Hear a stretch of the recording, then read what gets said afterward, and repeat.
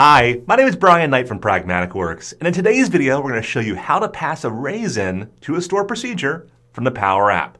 So stay tuned.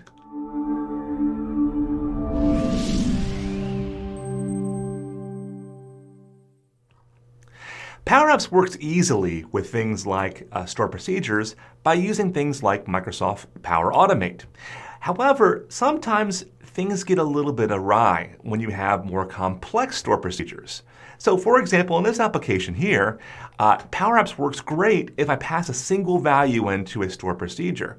But what if we have a multi-value array? So for example, in this application, I built a really simple application to essentially go through and multi-select a list of projects that I want to deactivate or activate. So as I, as I select these three items in my case from a combo box, uh, if I want to deactivate those projects, I'll hit change status and then I want to see those change, that, that status change over here. So Store procedures accept single parameters very easily in store inside of SQL Server or, any, or Oracle. But what if we want to do a more complex system like this combo box you're seeing above me now? Well, this could be done, of course, with things like patch statements, but uh, in many cases, you might have a more complex situation that you want to that you want to do inside of a store procedure. So let's go over to our, uh, our SQL server here and find out a few things about how we're going to build this out. So let's start really basically here. So let's go ahead and get rid of my face here so you can see all that. All right, so what I've done so far is I'm going to declare the input, input store procedure, as our input uh, variable, and I made it to varchar max, which basically means it can take as much as I can pass to it. Uh, and here is the, the, the, the uh, format of how I'm going to format this JSON. So this is a JSON coming in from Power Apps ultimately. And so it looks like this. And if I were to do a select star, as you can imagine, it looks like this. So we want to ultimately make this a little bit cleaner to where I can use this as a data set. And so this is what my data looks like uh, behind the scenes also. I have the active flag on and off for certain things. So to do that, what we're going to do is, is, is, is, kind of structure this a different way. We're going to use something called OpenJSON to make T-SQL a little more friendly to things like Power Apps. So let's just kind of take a, take a step back here and see step by step how this will work. So if I were to go and say select star from OpenJSON and pass in that input parameter that we have earlier, let's see what it looks like. What we're seeing down below is an array of, of my data. So we're seeing it has, each one has a, has a row ID and we're having a, a, it's all typed properly here as also. But I really want to see these, so I, I basically have flipped this right here into what we're seeing down here. And so my, my row has become, my column has become uh, individual rows.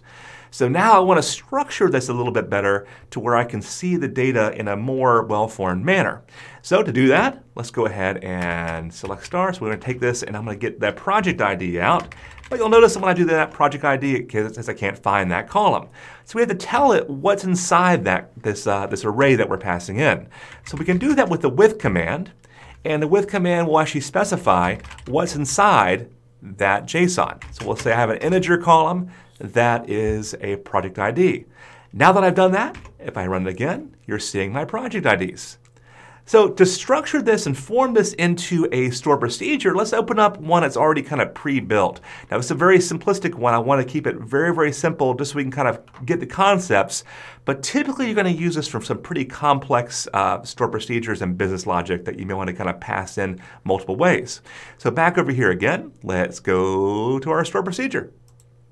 There we go. So let me go ahead and take, uh, or just kind of hide this for the time being. And what we're seeing here is a store procedure. I'm saying, okay, I want to turn something on or off based on a list of uh, project IDs you passed me. And we're seeing the same code you saw before, but I'm basically saying, hey, give me, uh, update all the projects and set, uh, set them to be true or false based on the project ID being in that array that we pass in. So if I simulate that now and just pass a few project IDs in, let's, let's take a few of them out, like 11 and 12 maybe, and 14, just so you can see that it is working here. I'm going to run this store procedure. There we go. All right. So now we should see 15, 19, and 21 all being off. And we, I, have already had a few of them on, on already. So you're seeing these 15, 19, and 21 are indeed off now. And I had a few of these other ones already off. All right, so now we're ready to go ahead and bring this into our application and onto our Power App now. So in Power Apps, we can simplify this a few ways also. So let's go back into our Power App and let's turn this button on right here, this change status button on, which is doing very little right now. But we want to see these three projects here turn off in my case, turn them on in my case. Here we go. All right, to do that, let's go ahead and copy that out so we can use it later. I'm going to go to Actions and we'll turn on Power Automate. And I have the Power Automate already created, but I'll go ahead and create a new one just so you can kind of see it, see it uh, from, from the ground up here. All right, so if we hit that Power App button, I want to do off this, this action right here. So let's go ahead and hit New and make sure I'm in the right environment. Uh, I want to go ahead and do SQL Server. And we'll fire that store procedure off. Here we go. And let's see, see if we have the right server here. We do have the right server, good. All right, so we're gonna go ahead and fire off in this time card database a store procedure called change status, which is the one we saw a little bit earlier here. All right, we're looking for it, it's right there. It's gonna ask for a few parameters here.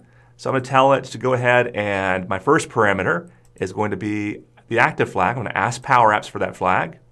And my second one will be, I'm gonna ask Power Apps for that one as well.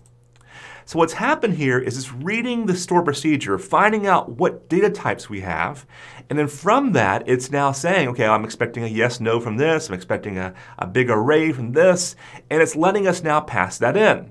Now, if you ever change that data type, things get a little squirrely inside of Power Automate. So what you might have to do in that case is come back here and delete this top part right here, re-add it back, and then reset up the parameters.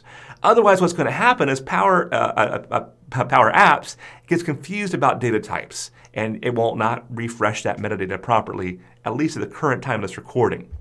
So let's go back here again. We are now ready here. Now we should have named, changed the name of this, of course, so that way the, this would have a better name versus execute store procedure. But we're going to go with this. We'll go ahead and, and change the name of this to just uh, uh, YouTube is fun, something like that, just so we can recognize it later. Some ridiculous name. And then let's go ahead and save it.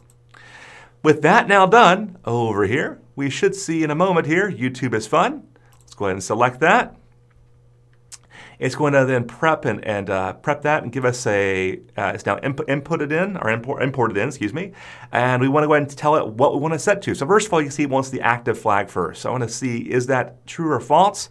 We'll pass in that toggle value. Okay, there we go.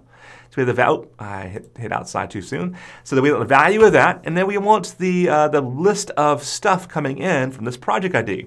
So let's go ahead, and that's gonna be my combo box, which is terrible name, but you get the idea, dot, and we want the selected items, dot, and we want the project IDs from that. Now we can pass in multiple items, we don't have to pass in just one, but we'll pass in uh, just the one here in our case. And there's one more thing we want to do here also. Uh, you'll see, well, first of all, we have a little, little uh, warning right now.